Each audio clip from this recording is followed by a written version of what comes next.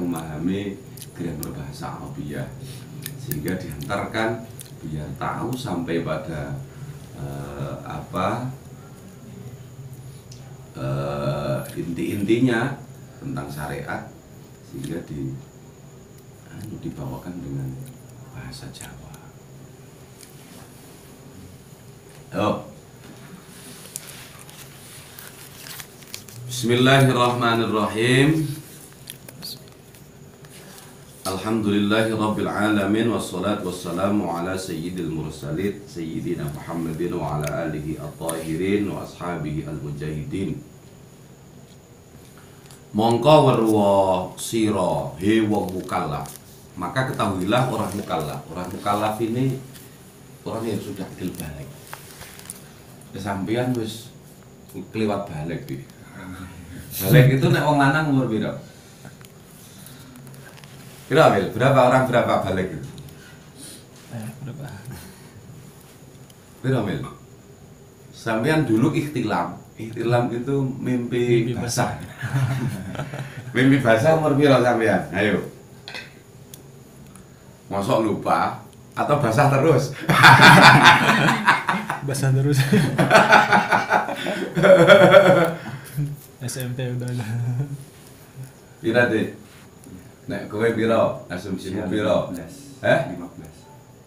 12 ya kisaran itu akil balik 12 sampai 15 itu akil balik nek perempuan akil baliknya Lebih cepat.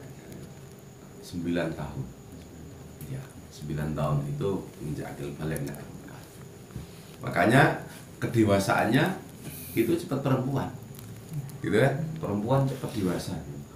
Umur 10 tahun lu iso bantu bapak ibunya. Nek laki-laki sak kowe sampean nurun bantu. Iya kan? Masih lihat gitu terus. Laki-laki karena itu dewasanya terlambat.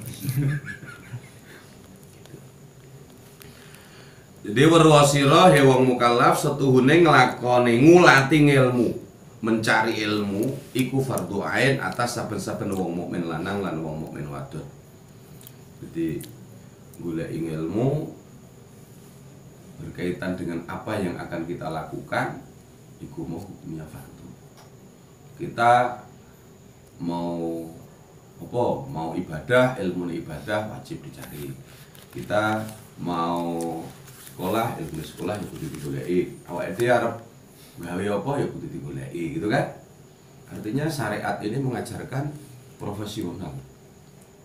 Gitu. Syariat agama itu mengajarkan kita ke arah profesional. Jadi apa pun harus dicari ilmunya dulu. Baru dilakukan.